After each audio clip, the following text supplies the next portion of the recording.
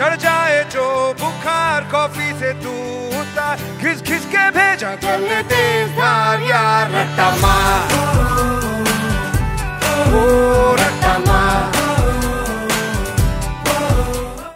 એટલે ગટા વાંચવા બેઠો છે?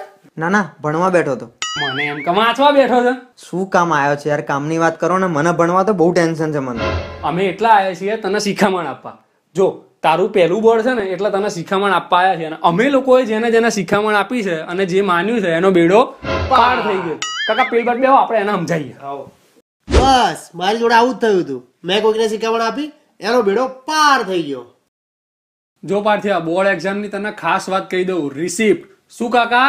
રિસિપ્ટ જો પાર્થિયા રિસિપ્ટ જો તું ભૂલી ગયો તો તને સ્કૂલમાં એન્ટ્રી જ નહીં મળે. હવે તને એન્ટ્રી નહીં મળે એટલે તું પાછો ઘરે આવીશ.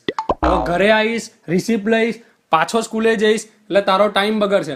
અને તારો ટાઈમ બગડ્યો એટલે તું એક્ઝામ નહીં આપી શકે. અને એક્ઝામ નહીં આપી શકે એટલે તું પાછો ફેલ થઈશ. બસ મારી જોડે આવું થયું હતું. મેં જેને શીખામણ આપી ને એ રિસીપ ભૂલી ગયો હતો. બીજી ખાસ વાત. જો એક્ઝામ આપવા તારે બસ કે રિક્ષામાં જવાનું જ નહીં. કેમ નહીં જવાનું? તને ખબર છે આજકાલના રિક્ષાવાળા કેવી રિક્ષા ચલાવે છે? કટો મારવામાં મારવામાં જો તો એમની રિક્ષા પલટી ખાઈ ગઈ તો તારા હાથ છોડાઈ જશે. અને હાથ છોડાઈ ગયા તો તું પેપરમાં લખી નહીં શકે. અને વળી પાછો તું બસમાં જઈશ. તો બસના ટ્રાફિકમાં ફસાઈ જાય પંચર પડી જાય તો તું લેટ પહોંચીશ. લેટ પહોંચીશ તો તું એક્ઝામ નહીં આપી શકે અને એક્ઝામ નહીં આપે તો તું ફેલ થઈશ. બસ મારી જોડે પણ આવું જ થયું હતું. મેં જેને શીખવણ આપી ને એને પહેલા રિક્ષા પલટી ખાઈ ગઈ અને બસ પછી ટ્રાફિકમાં લઈ ગઈ. ત્રીજી ખાસ વાત કાકા ત્રીજી ખાસ વાત. જો એક્ઝામ આપવા જાય ને તો આવી તકલાદી પેન નહીં વાપરવાની. કેમ નહીં વાપરવાની? જો આવી તકલાદી પેન તું વાપરીશ અને પેપરમાં લખતો હોઈશ ના પોઈન્ટ તૂટી ગયો તો શું થશે? આની સહી આખી પેપરમાં રહી લઈ જશે. બધું કવર કરવામાં કરવામાં તારા લેટ થઈ જશે. જો વળી લેટ થયું તો તું એક્ઝામ સરખી નહીં આપી શકે. અને એક્ઝામ સરખી નહીં આપી શકે તો તું ફેલ થઈશ. બસ મારી જોડે આવું થયું હતું. મેં જેને શીખવણ આપી ને એની પેન ખરાબ નીકળી અને પેન લખવા ગયો ને તો આખું પેપર ખરાબ થઈ ગયું. ચોથી ખાસ વાત. કાકા ચોથી ખાસ વાત.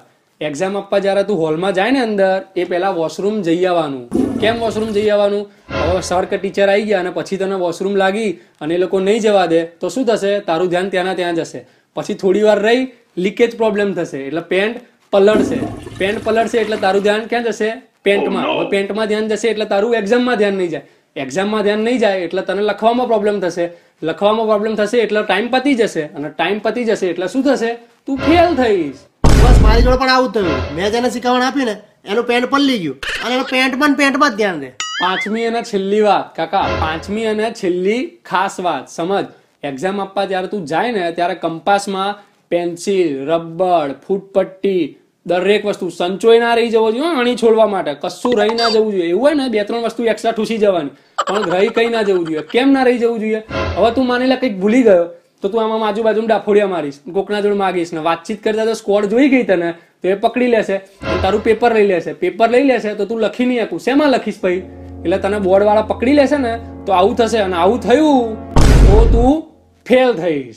બસ મારી જોડે આવું જ થયું હતું. મેં જેને શીખવણ આપી હતી ને એ આજુબાજુમાં ડાફોણે મારતો હતો અને એને સ્કોડવાએ પકડી લીધો. એટલે કાકા તમે ક્યારના કહો છો? મેં જેને શિખામણ આપી મેં જેને શિખામણ આપી તો એ શિખામણ કયા મહાપુરુષને આપી? હા ને.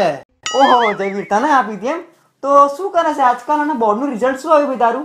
બે એમાં પૂછવાનું થોડી હોય. તારો ભાઈ હારા એવા માર્કે ફેલ થયો ફેલ અને અત્યારે કાકાન ગલ્લા બેન પૂછડા ઘસીએ છે. પૂછડા બે તમે લોકો છે ને અહીંયા મને શિખામણ આપવા આવ્યા છો કે બીવડાવવા આવ્યા છો? તમે લોકો ઉપડો અહીંથી હું મારી રીતે મારું જોઈ લઈશ. ચલો ચલો.